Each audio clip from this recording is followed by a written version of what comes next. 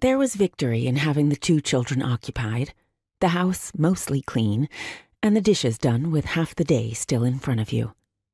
Corrine felt triumphantly domestic. She set down the laundry beside the dinner table and opened her laptop while she folded. Facebook was weird. It not only preserved the dead, Alex's departed mother remained on her friend list, but past acquaintances, people you'd ordinarily never hear from again. She'd decided that friendships meant to endure did so with or without social media. Texts, emails, even phone calls. Phone calls. Imagine that.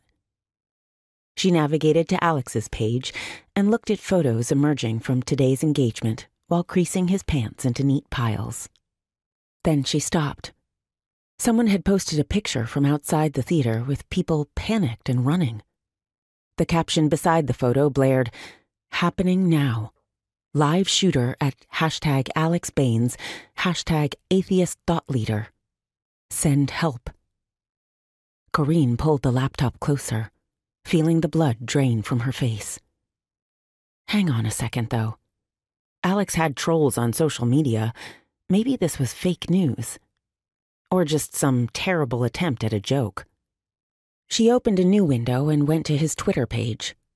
Nothing, just the announcement from that morning that he was lecturing at a small theater in the mountains.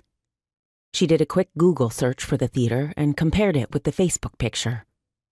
Same structure, lots of windows, mansard style roof. The phone rang, her cell phone vibrating from somewhere in proximity. She got up so fast that her chair fell over.